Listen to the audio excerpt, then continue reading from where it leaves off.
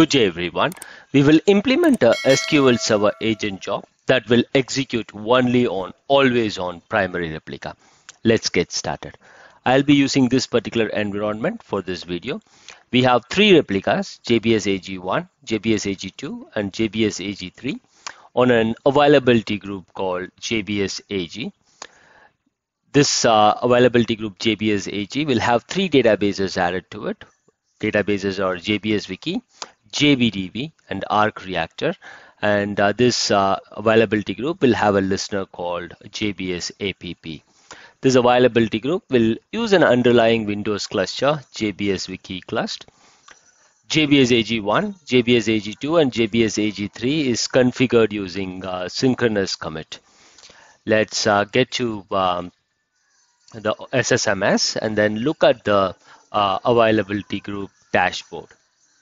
So if you look at the dashboard here, we are able to see that uh, we have three replicas as uh, updated earlier, JBS AG1, JBS AG2, and JBS AG3. And all the three replicas have a availability mode of synchronous commit. And then the failover mode for JBS AG1 and AG2 is automatic, and for JBS AG3, it is manual. So now what I'm going to do is like I'm uh, going to uh, execute this insert statement on uh, JBS AG1, which is your primary replica. If I execute it, uh, what I'm able to see is like the insert is uh, completed fine without any issue. So even though the context here is master, I'm doing an uh, insert. Uh, basically what I'm doing is like I'm inserting this particular row on the database JBS wiki. The schema name is DBO and table name is table one. So this is where I'm doing the insert. Let me do the insert one more time and this is working fine let's uh, connect uh, this uh, query window to one of the secondary and let's connect to JBS AG2 and if we try executing this query here, what we'll see is like we are getting an, uh, a message stating like the target database JBS Wiki is participating in an availability group and is currently not accessible for queries either data movement is suspended or the availability replica is not enabled for read access. To allow read-only access to this and other database in availability group, enable read access to one or more secondary availability replica in the group. So it basically tells like um, uh, we are not able to perform an insert on uh, availability group secondary because it is basically going to be a read replica. So there is no way we will be able to perform this insert on a secondary replica. If I run the same query on JBS AG3 as well, which is another secondary, we will get the same error. So what happens is like any uh, write queries like insert, update or delete, it can happen only on the primary replica.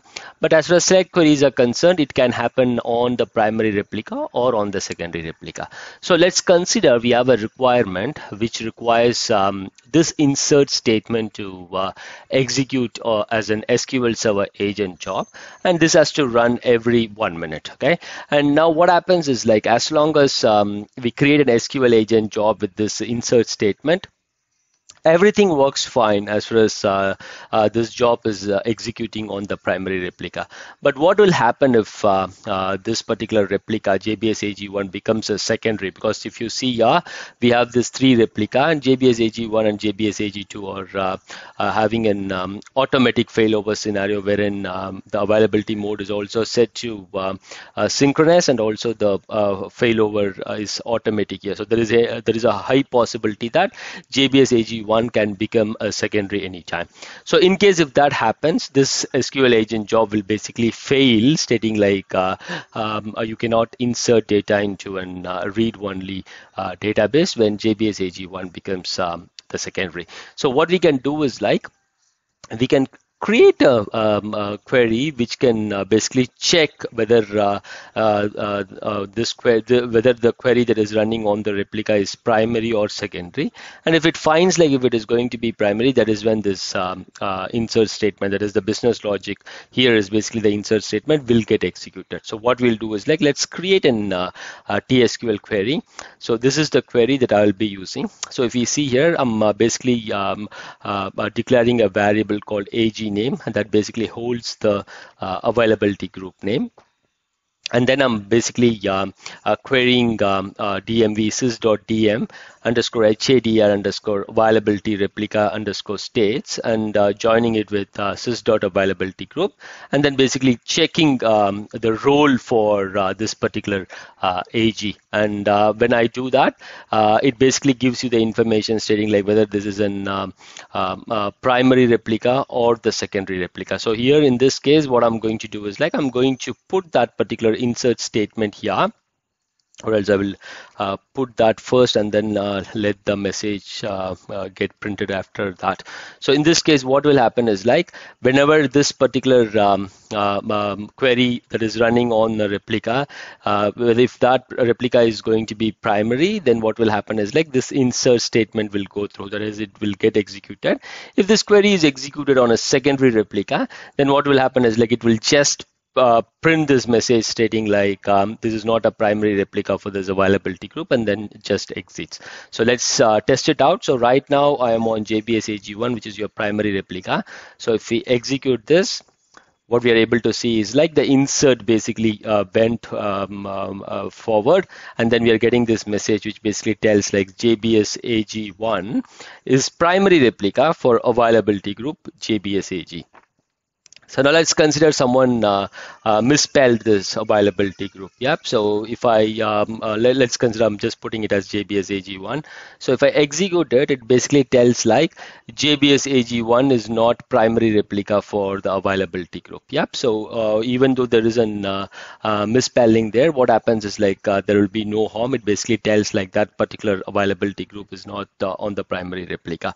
So now what we'll do is like we will connect to one of the secondary replica. This time we will connect to JBS AG3 and then let's execute this query and then see if we are getting an uh, error here.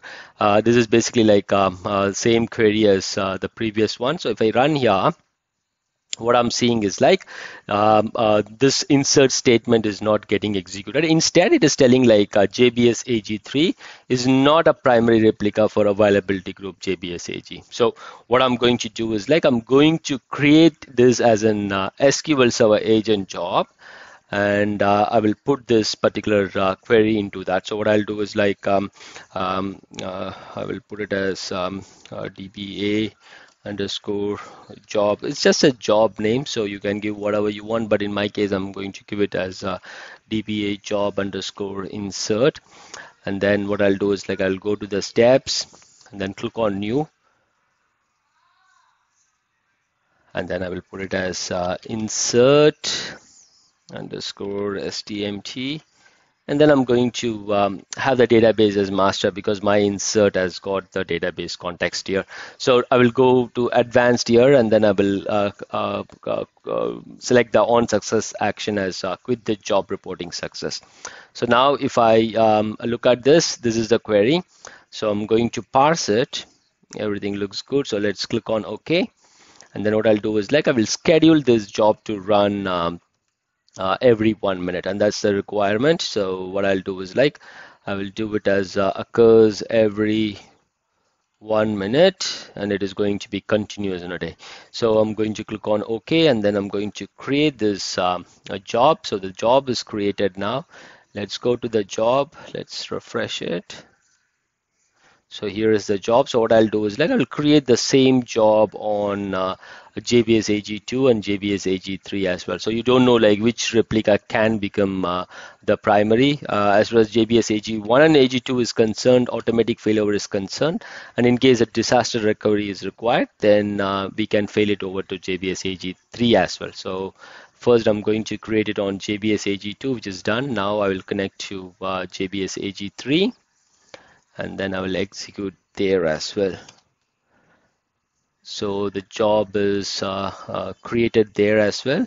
So what we'll do is like let's give like a couple of minutes and then uh, let's look at uh, the job execution on each of these servers and then see if uh, we are able to achieve uh, what we really require. That is, uh, uh, the job will have to basically insert the data only on the primary replica. Let's give it a couple of more minutes and then we will check the SQL agent job history and then see how the job is performing. Okay, so let's look at the job history here. Let's go to the job activity monitor and then look at the job history yeah. And what you're able to see is like job is completing fine. There is no issues in that so let's click on that. And then what we can see here is like it is basically telling like uh, a JBS AG1 is the primary replica for the availability group. That means like the insert went through fine on this particular replica which is JBS AG1 now what we'll do is like we'll do the same thing on JBS AG2 as well and then see what is the message we have for that job so if you go to JBS AG2 we can see that the job is completed fine here as well. Here we are seeing like uh, it basically tells like JBS AG2 is not a primary replica. So basically uh, we did not have this job uh, uh executing that insert statement. And this is going to be same for uh, JBS AG3 as well. Let's look at that. Let's go to the agent and uh, let's look at it. So if you see here we are able to see that uh, the job is completed fine here. But if we see here the output here is basically going to be that this is a secondary replica. So if you see here JBS AG3 is not primary replica for availability group JBS AG now what we'll do is like we will fail over uh, uh, the availability group from JBS AG1 to JBS AG2 and then see if this insert statement is happening fine on JBS AG2. So let's click on finish. The failover is happening now. Let's wait for the failover to complete and then um, give maybe like uh, uh, two minutes and then see like what is happening as the job is concerned so it is refreshed now let's wait for uh, another two minutes and then look at the job history okay now let's look at uh, JBS AG1 if you see here time is 3:52 p.m. so let's look at the history here and uh, if you see here the job completed around 3:52 p.m. now if you see here it is basically telling like as soon as we did the failover it is clearly telling like JBS AG1 is not primary replica for availability group. So that way the insert statement was not tried in uh, JBS AG1 and now let's uh, uh, check the um, uh, history for the job in uh, JBS AG2 and if you see here this time we are seeing that uh, JBS AG2 is primary replica hence the insert happened fine on this particular replica. So this is how we basically um, uh, create a business logic or a TSQL query uh, which will uh, ensure that the required query that needs to be executed on the primary replica uh, can be performed likewise using this particular query. Thanks for watching. Have a great day. Jai Hind.